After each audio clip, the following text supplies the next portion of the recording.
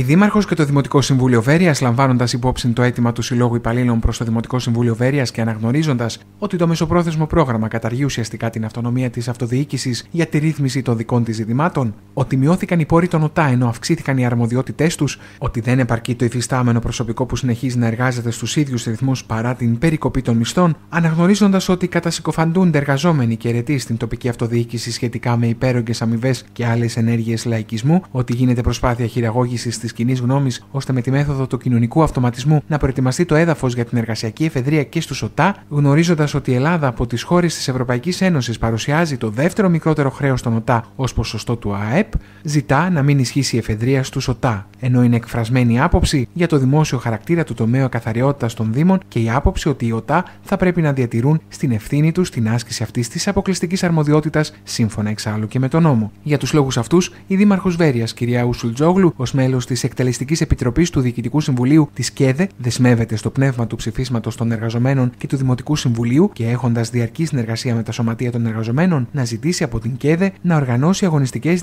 διεκδικητικέ κινητοποιήσεις για όλα τα προαναφερθέντα σε όλους τους Δήμους της χώρας. Τέλος, το Δημοτικό Συμβούλιο Βέρεια καταδικάζει την άσκηση όποιας μορφής βίας κατά ερετών και εργαζομένων και δηλώνει πως είναι συνεργάτες και από κοινού διεκδικούν.